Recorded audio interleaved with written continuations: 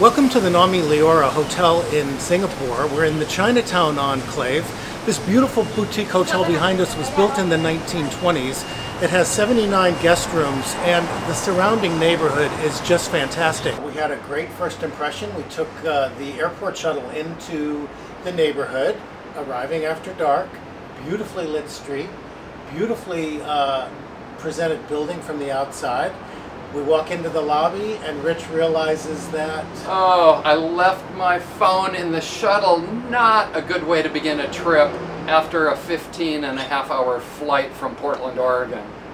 Oh, so what do you say? Well, what we say was thank you to the staff because they actually got the phone within an hour. Oh. So they were like, don't worry about it. 90% uh, of uh, these kind of things are always returned. And so we just went to dinner, focused on the 90, didn't worry about the 10. In less than an hour, my phone was back. And Yeah. it really tainted my impressions of the property in the lobby and in the room. Yeah. Until I had my phone.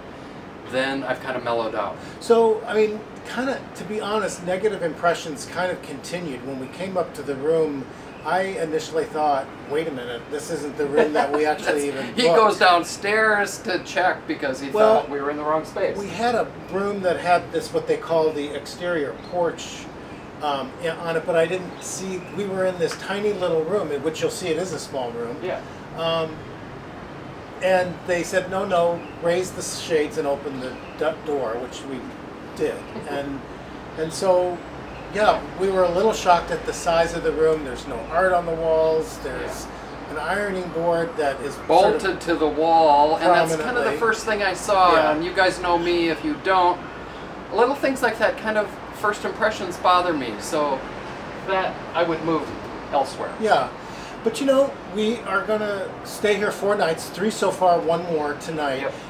The property actually has really grown on us, so I Yeah. would say that it's been kind of going uphill ever since Yeah, our yeah. arrival. I mean, it's a tall, it's it's a tiny room.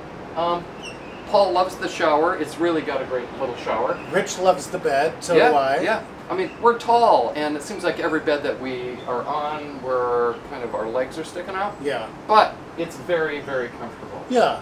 So, and we we appreciate the central location. We're within walking distance of yeah. two MRT stations, Yeah. uh, which makes it very easy to get around on their um, metropolitan subway system.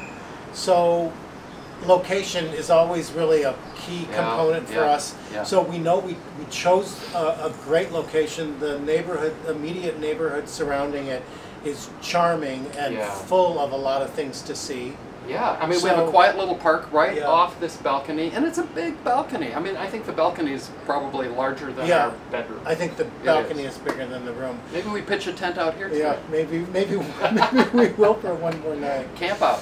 So anyway, um, thank you for watching our review, and um, this Yeah. is Rich, And he's Paul, and we're the hotel, Hotel guys. Thanks for following us, everybody.